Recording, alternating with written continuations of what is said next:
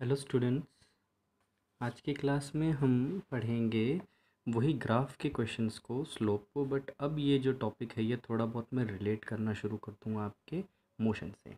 एक बार दोबारा से रिवाइज करते हैं स्लोप क्या है? बेटा वाई एक्सेस और एक्स एक्सेस के बीच में बनने वाला कोई भी ग्राफ ग्राफ का मतलब है कोई लाइन या कोई कर्व ठीक है? उसका टेन थीटा जो लिया जाता है रेफरेंस एक्सेस के साथ उसी को हम स्लोप कहते हैं। टेन थीटा का मतलब क्या है? बेटा राइट एंगल ट्रायंगल बनाया जाता है। उसमें sine theta cos theta tan theta ये प्रॉपर्टीज़ थोड़ी बहुत मैंने बताई है। एक बार हल्का सा यहाँ पर भी समझ लीजिए। टेन थीटा का मतलब क्या है? मान लो कि ये, ऐसा करता हूँ मैं इसे थोड़ा सा अलग समझाता हूँ। ठीक है? आप ज़रा समझने की कोशिश करिएगा। ऐसा मान लो कि ये कोई एक डिस्प्लेसमेंट और टाइम का ग्राफ बना रहा हूँ मैं। यहाँ डिस्प्लेसमेंट यहाँ पर टाइम अब इसके बीच में कोई ऐसी एक ग्राफ मिला। ये हमारे वाई और एक्स एक्सेस के बीच में जो भी लाइन या जो कर्व मिल रहा है स्ट्रेट लाइन या कर्व मिल रहा है, उसे ग्राफ कहेंगे। अब ये ग्राफ हमारे रेफरेंस एक्सेस अब देखना मैंने आगे बताया भी है most of the cases your reference axis will be the time reference axis के साथ क्या एंगल बना रहा है? तो रेफरेंस एक्सिस को तो टच नहीं कर पा रहा तो पैरल शिफ्टिंग पड़ी है ना, इसको आगे के ऊपर की तरफ़ शिफ्ट कर दीजिए। और टेन थीटा कॉस थीटा ये सारी चीज़ें कहाँ फॉलो होती है? राइट एंगल ट्राइंगल में। अब राइट एंगल ट्राइंगल तो नहीं बन रहा, बस इतना पता लग रहा है यहाँ एंगल बन रहा है। अब अगर उस एंगल को हम कुछ भी ले लें तो अगर उसका मैं टेन थीटा देख लूँ, अगर मान लो ये थर्टी डिग्री है तो जो टेन थर्टी होगा वो रिप्रेजेंट करेगा स्लोप को। टेन थर्टी मतलब one upon root three slope की value one upon root three होगी। आगे मैं इसी चीज़ में समझाऊँगा स्लोप होगा क्या। ठीक है, अब ज़रा इसी को यहाँ समझने की कोशिश करें कि राइट एंगल ट्राइंगल बनाना है तो एक तो ये देखिए, ये एंगल जिसके साथ बन रहा है वो तो है बेस मतलब इस पर बनने वाली परपेंडिकुलर अभी तक नहीं बनाई गई है। तो एक काम करो परपेंडिकुलर बना दो इसके ऊपर। बन गया राइट एंगल ट्राइंगल तो ये वाली साइड होगी परपेंडिकुलर ये वाली साइड होगी बेस तो इतनी लेंथ ये लेंथ किसके बराबर है? देखो तो यहाँ तो टाइम ज़ीरो है, यहाँ टाइम कुछ होगा टी वन यहाँ होगा टी टू तो ये चेंज इन टाइम होगा। और ये क्या होगा? यहाँ पर टाइम है फाइनल टाइम यहाँ पर initial time final minus initial के बराबर होगी ये लेंथ ये मतलब होगी डेल्टा एस टेन थीटा को थोड़ा सा याद करके पढ़ो। तो tan theta is always perpendicular upon base मैंने एक जगह लिखवाया था ना, पंडित बद्री प्रसाद हर हर बोले, सोना चांदी तोले। तो उसी कॉन्सेप्ट में आपको परपेंडिकुलर अपॉन बेस मिलेगा। तो परपेंडिकुलर थीटा की अपोजिट साइड मतलब इस पर्टिकुलर केस में डेल्टा एस और बेस जो है, वो हुई delta T delta S upon delta T क्या होती है? वेलोसिटी अगर ये बहुत छोटे से टाइम के लिए ले लूँ तो d s upon d t वो होगी वेलोसिटी मैं आपको डिफरेंशियल की मदद से चीज़ों को समझाने की कोशिश करूँगा। Differentiation of any quantity will always give you the slope आपको स्लोप प्रोवाइड करती चलेगी और एक सीक्वेंस पढ़ेंगे हल्का हल्का थोड़ा सा समझ में आ रहा होगा, और सारे डिस्कशन इसके अंदर होते रहेंगे, मैं समझाता चलूँगा। ठीक है? अब आप यहाँ देखिए तो ये तो हमने पुरानी डेफिनेशन पढ़ी है। मोस्टली और इन मोशन द एक्सिस जो रेफरेंस एक्सिस है ना, वो आपकी टाइम एक्सिस होगी। ये ध्यान रखिएगा। मोस्ट ऑफ़ द केसेस या motion force and law of motion इनमें आपकी जो रेफरेंस एक्सिस है, वो टाइम ही होगी। मतलब एंगल मेज़रमेंट टाइम से किया जाएगा। टाइम एक्सिस से ग्राफ की तरफ़ आएँगे तो कुछ पुराना याद करो। Slope when measure in anti clockwise direction will be taken as positive और अगर स्लोप को मेजर करने के लिए क्लॉकवाइज जा रहे हो तो वो आपका नेगेटिव लिया जाएगा। तो ध्यान रखना, हमेशा ना एक्यूट वाला पोर्शन मेजर करने के लिए मूवमेंट होता है। मतलब एक लाइन है ना, इसको भी थोड़ा समझ लीजिए। देखो, यहाँ भी आपके कन्फ्यूज़न ना हो, इनको समझा देता हूँ। जैसे देखो, ये है आपका डिस्प्लेसमेंट टाइम और ये कोई लाइन है। ये ऐसे कट कर रही अब ये रेफरेंस है। रेफरेंस एक्सिस से ऐसे घूमूँगा तो ये तो एंटी क्लॉकवाइज आएगा। ये भी तो रेफरेंस है, ऐसे घूमूँगा तो क्लॉकवाइज तो हमेशा जो आपको मूव तो करना है रेफरेंस एक्सिस से ग्राफ की तरफ़, लेकिन हमेशा किसको मेजर करोगे? एक्यूट एंगल को। याद कर लो, अच्छे से वेक्टर्स में भी बताया था ना ज़ीरो से वन एट्टी डिग्री के बीच वाला। हम एक्यूट जो होगा ना, उसको मैं मेजर करेंगे। उसके लिए मूवमेंट चेक करेंगे। तो एक्यूट के लिए मूवमेंट कैसा? एंटी क्लॉकवाइज मतलब इसका स्लोप होगा पॉजिटिव और भी कॉन्सेप्ट है, लेकिन हम मूवमेंट से ही पढ़े। और कॉन्सेप्ट में थोड़ी दिक्कत आ सकती है। अब समझ लिए differentiation of any quantity will always represent the slope will always give the slope किसी भी टर्म का आप डिफ्रेंशिएशन करोगे तो आपको स्लोप ही मिलने वाला है। और एक ऑर्डर याद करें, कुछ बताया था मैंने higher value lower value displacement को डिफ्रेंशिएट करोगे तो आपको मिलेगी वेलोसिटी इसका डिफ्रेंशिएशन करा तो आपको मिलेगी वेलोसिटी वेलोसिटी का डिफ्रेंशिएशन करा तो आपको मिलेगा एक्सेलरेशन। और एक्सेलरेशन का डिफ्रेंशिएशन किया तो आपको मिलेगा जर्क। लेकिन ये वाली क्वांटिटी तक आपको पढ़ना नहीं है। तो ऑर्डर यही है। हमारी ये स्मॉलर क्वांटिटी है, ये उससे हायर है, ये उससे हायर, ये उससे हायर है। अगर हम इसमें स्मॉल से हायर ऑर्डर की तरफ़ मूव करें तो हमें स्टेप बाय स्टेप डिफ्रेंशिएशन करते हुए जाना पड़ेगा। एक बार डिफ्रेंशिएशन करूँगा इसका तो वेलोसिटी मिलेगी।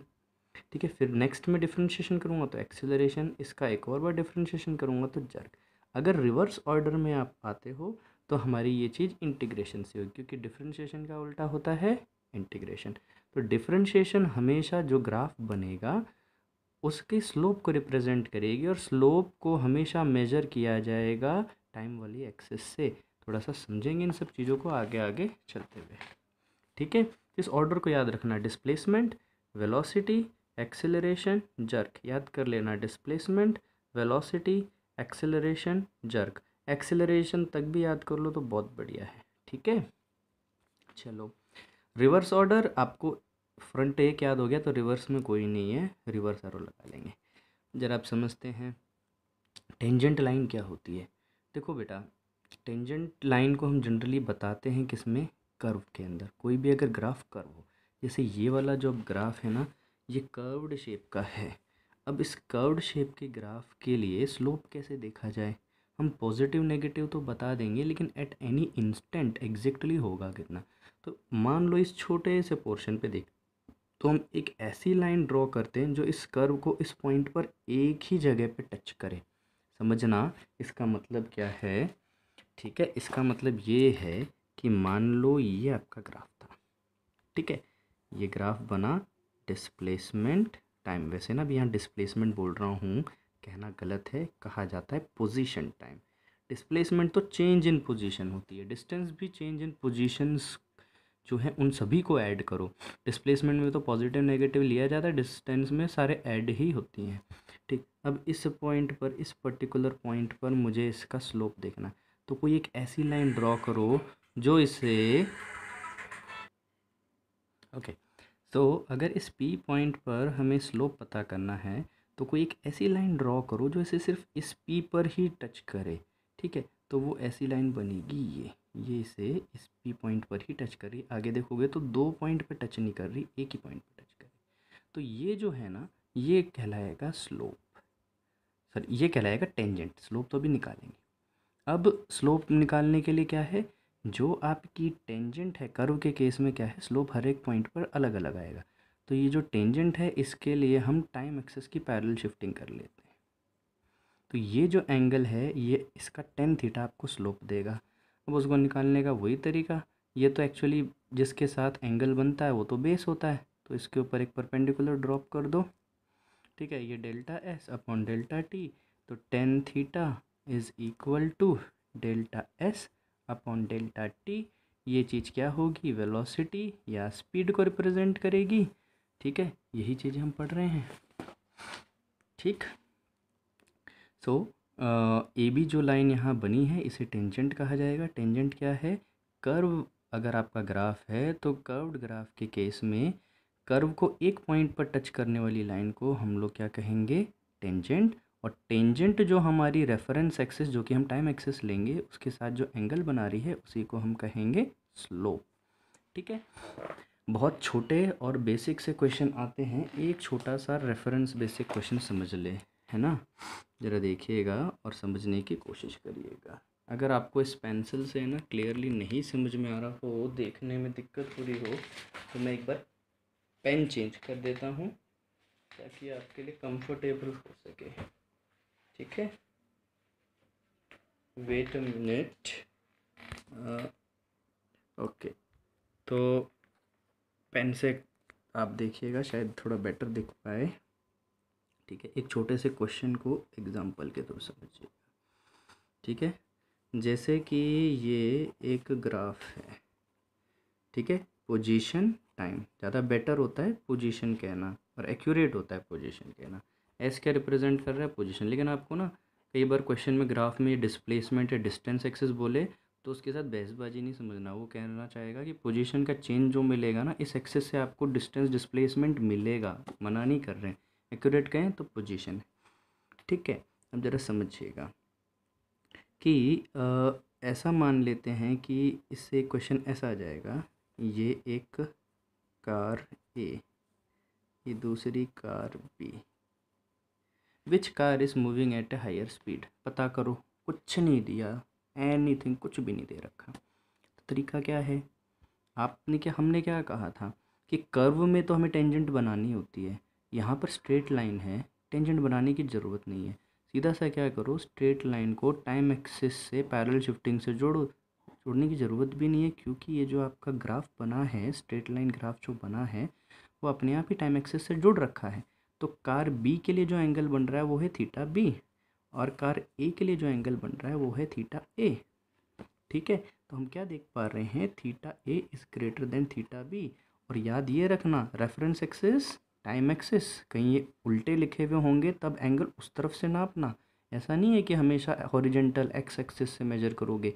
Angle that mean slope will be measured only from the time axis याद रखिएगा। Theta one is greater than theta B, theta A is greater than theta B. तो जहाँ आपका टेन थीटा होता है ना, थीटा बढ़ेगा तो टेन थीटा भी बढ़ेगा। Tan theta A is also greater than tan theta B और आपको पता है डिस्प्लेसमेंट या पोजीशन टाइम ग्राफ के अंदर जो आपका टेन थीटा है, वो होता है slope tan theta is slope ठीक है? और स्लोप होता है वेलोसिटी के इक्वल अगर फ्रेम में नहीं आया हो तो मैं ये बता रहा था, यहाँ पे theta A is greater than theta B तो थीटा बड़ा होगा तो उसमें टेन थीटा भी बड़ा होगा ट्रिग्नोमेट्री के टेबल की अलग अलग वैल्यूज़ पे चेक करोगे तो पता लगेगा। टेन ज़ीरो पे ज़ीरो होता है थर्टी पे वन बाई रूट थ्री होता है फोर्टी फाइव पे वन होता है तो देखिए ज़ीरो ज़ीरो पे ज़ीरो थर्टी पे आपका one by root three zero से बड़ा, ठीक है फोर्टी फाइव पे वन वो वन बाई रूट थ्री से बड़ा तो आपकी वैल्यू इंक्रीज़ होती जा रही है, आगे भी चेक करेंगे तो नाइन्टी तक वैल्यू इंक्रीज़ करती है और हमारा एंगल जो है, एक फ़र्स्ट क्वाड्रेंट में ही रहने वाला है। तो सीधा सीधा हमें यहाँ से पता क्या लग रहा है? Velocity of A is greater than velocity of B क्या कोई वैल्यू दी? नहीं। ऑब्जर्वेशन बेस्ड क्वेश्चन हो कहा जाता है इन्हें। ठीक है? अगला देखते हैं। तो अब ज़रा हम इसी में आगे के टर्म को चलते हैं। रिमेंबर करना, ये सीक्वेंस में बता भी चुका हूँ। क्लास की स्टार्टिंग में सीक्वेंस होता है डिस्प्लेसमेंट डिस्प्लेसमेंट को डिफ्रेंशिएट करोगे तो आपको मिलेगी वेलोसिटी वेलोसिटी का डिफ्रेंशिएशन करोगे मतलब इस क्वांटिटी का डिफ्रेंशिएशन करोगे तो आपको एक्सेलरेशन एक्सेलरेशन का डिफ्रेंशिएशन करोगे तो जर्क यहाँ तक जाने की ज़रूरत नहीं है। ठीक है? आपको मिलेगा तो यहीं तक। ठीक? लेकिन फिर भी मैंने आपको बता दिया है। अब बात करते हैं इसका उल्टा है इंटीग्रेशन मतलब आप एक्सेलरेशन का इंटीग्रेशन करोगे। तो आपको वेलोसिटी मिलेगी। तो एक्चुअली में यहाँ पे जो डी टी डिवाइड में था, उसको मल्टीप्लाई करते चलना। ठीक है? एक्सेलरेशन का इंटीग्रेशन करोगे तो मिलेगी वेलोसिटी वेलोसिटी का इंटीग्रेशन करोगे तो मिलेगी पोजीशन ठीक है? जर्क का इंटीग्रेशन करोगे तो मिलेगी एक्सेलरेशन मतलब रिवर्स ऑर्डर में जर्क का किया तो एक्सेलरेशन एक्सेलरेशन का इंटीग्रेशन किया वेलोसिटी वेलोसिटी का इंटीग्रेशन करा तो पोजीशन ठीक है? या डिस्प्लेसमेंट और एक्चुअल में ग्राफ के अंदर इंटीग्रेशन क्या रिप्रेजेंट करेगा, ये भी समझना है। ठीक है, ग्राफ जो बनता है आपको, कोई दो एक्सेस के बीच में ग्राफ मिलेगा, ठीक है, उसमें इंटीग्रेशन हमेशा जो ग्राफ है और टाइम एक्सेस है, इनके बीच में आने वाले एरिया को रिप्रेजेंट करेगा, ठीक है, ये अभी समझ में ना भी आए, एक दो क्वेश्चन समझोगे जब क्लियर होगा, ये ऑर्डर मैंने लिखा है, देखो जर्क अब इनके साथ डी टी मल्टीप्लाई करें, क्योंकि रेफरेंस एक्सेस का डेरिवेटिव रहता है आपका ऑपरेटर में जो डी एक्स डी टी जो है वो रेफरेंस एक्सेस के अकॉर्डिंग आएगा जर्क को डीटी से मल्टीप्लाई किया तो एक्सेलरेशन तो खुद खुद सोचिए। एक्सेलरेशन से लोअर ऑर्डर क्या होता है? वेलोसिटी ठीक है? तो आप एक्सेलरेशन का इंटीग्रेशन करोगे वेलोसिटी वेलोसिटी से लोअर ऑर्डर क्या होता है? डिस्प्लेसमेंट तो वेलोसिटी का इंटीग्रेशन करोगे तो डिस्प्लेसमेंट मिलेगा। अब ग्राफ में ये चीज़ें कैसे, ये मैंने इसलिए बताया है, इससे आपको समझ में आ सके कि आपकी क्या टर्म आने वाली हैं। और ये चीज़ें, ये जो दो इक्वेशन देख रहे हो, ये वाली और ये वाली इक्वेशन ये आपकी इक्वेशन ऑफ़ मोशन है जनरल इक्वेशन ऑफ़ मोशन चाहे कांस्टेंट एक्सेलरेशन हो चाहे आपकी वेरिएबल एक्सेलरेशन हो आगे इन चीज़ों को पढ़ेंगे हम लोग। अब ज़रा इस चीज़ को समझाता हूँ कि इंटीग्रेशन कैसे एरिया को रिप्रेजेंट करता है। ज़रा समझते हैं ये ग्राफिकल लाइन है एक ग्राफ है आपका। ठीक है? इसमें मैंने दोनों चीज़ें एक साथ ही समझा रखी हैं। ठीक? तो आ, ऐसा करते हैं। ठीक है? तो अभी आपको ये जो एरिया वाला कॉन्सेप्ट है ये इस क्वेश्चन के थ्रू समझ में आ जाएगा। थोड़ा सा कंसंट्रेट करके रखिएगा स्टार्टिंग में थोड़ा हार्ड लगेगा ही, ठीक है?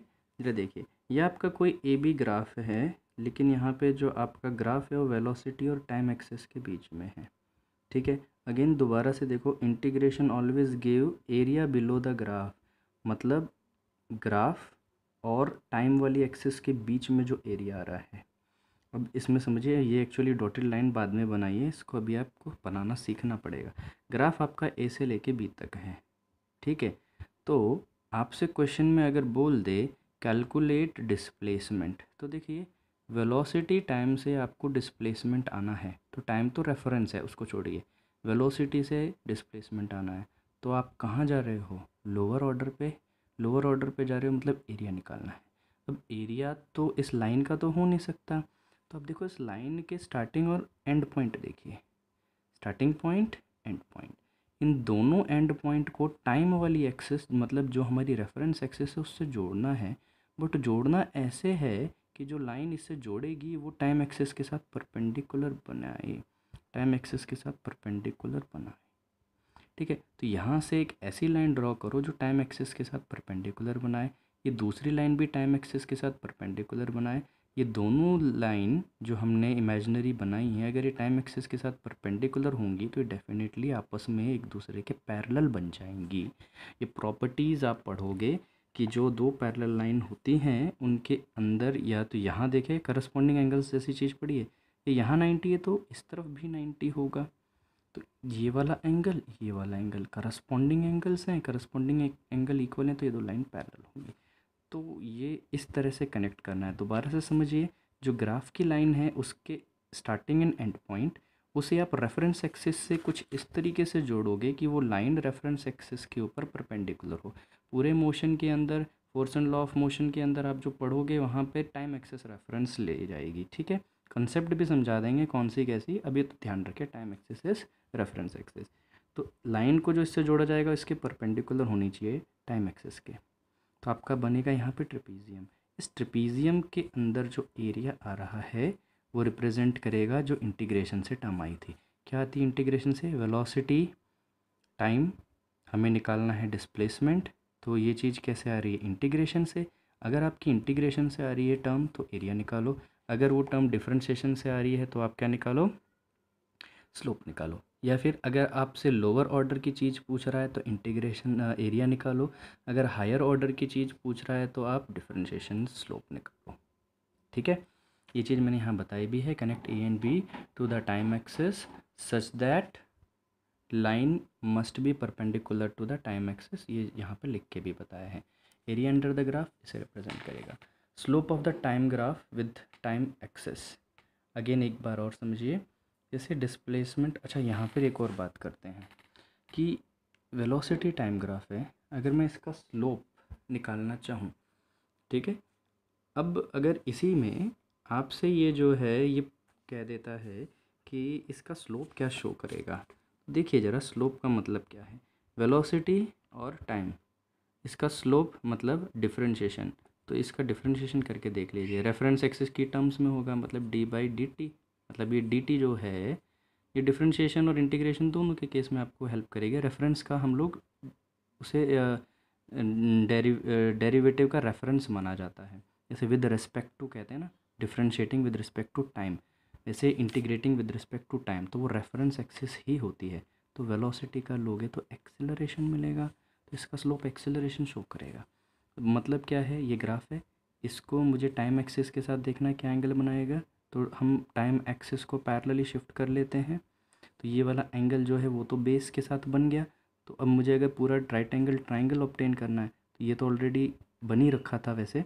इसको नीचे अगर मैंने बेस के ऊपर परपेंडिकुलर लाइन ड्रॉ करी, ये वाली तो यहाँ पे 90 डिग्री बनेगा। ये राइट एंगल ट्राइंगल ये होगा आपका डेल्टा वी यहाँ पे फाइनल वेलोसिटी यहाँ पे इनिशियल वेलोसिटी मोशन यहाँ से ए से बी है तो delta V upon delta T ठीक है? अगर आप स्लोप देखते हो या फिर कहें टेन थीटा जिसे स्लोप कह रहा हूँ tan theta perpendicular delta V upon delta T delta V upon delta T होता है एक्सेलरेशन पढ़ चुके हैं।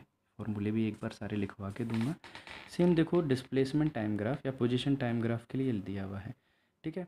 अब पूछा जा रहा है इसके अंदर कि आप एक्सेलरेशन निकालो, ठीक है? सॉरी इसके अंदर कह रहा है वेलोसिटी निकालो। तो वेलोसिटी निकालना है तो देखिए आपके पास क्या है? डिस्प्लेसमेंट वेलोसिटी से हायर ऑर्डर स्लोप निकाल देना। ठीक है? स्लोप निकालना है तो टाइम वाली एक्सिस को पैरेलली शिफ्ट कर दो। तो यहाँ पे एंगल बनेगा। ठीक? अब हमें स्लोप निकालने के लिए राइट एंगल ट्राइंगल की ज़रूरत है तो ये तो बेस हो गया। अब इस बेस के लिए परपेंडिकुलर तो बेस तो यहाँ से बन गया परपेंडिकुलर बचा हुआ एंड ये इनिशियल पॉइंट से बे आपके लिए बेस वाली लाइन बन गई। तो हम फाइनल पॉइंट से परपेंडिकुलर ड्रॉ कर लेते हैं मतलब बेस के ऊपर नाइन्टी डिग्री की लाइन ड्रॉ कर लेते हैं। तो राइट एंगल ट्राइंगल तो टेन थीटा होगा परपेंडिकुलर ये चीज़, यहाँ से इतनी length final disposition initial position तो ये तो डेल्टा एस और ये इनिशियल टाइम फाइनल टाइम ये हो गया डेल्टा टी तो आपका जो स्लोप है, ठीक है स्लोप जो होना चाहिए, वो होगा टेन थीटा टेन थीटा मतलब परपेंडिकुलर अपॉन बेस परपेंडिकुलर का मतलब delta S upon delta T और ये चीज़ क्या होगी? वेलोसिटी यही तो बताया था। अगर आपसे हायर ऑर्डर बोल रहा है तो स्लोप निकालो। स्लोप क्या रिप्रेजेंट करेगा? डिफ्रेंशिएशन ठीक है? डिफ्रेंशिएशन आपको क्लियर पता है। एस का और टी के रिस्पेक्ट में डिफ्रेंशिएशन करोगे तो आपको वेलोसिटी मिलेगी। ठीक है? अब कुछ इंपॉर्टेंट ग्राफ कन्वर्जन के बहुत इंपॉर्टेंट बेसिक रूल देखो, इतना घुमा घुमा के कई चीज़ें बताई जाती हैं। ज़्यादा नहीं घुमाऊँगा आपको।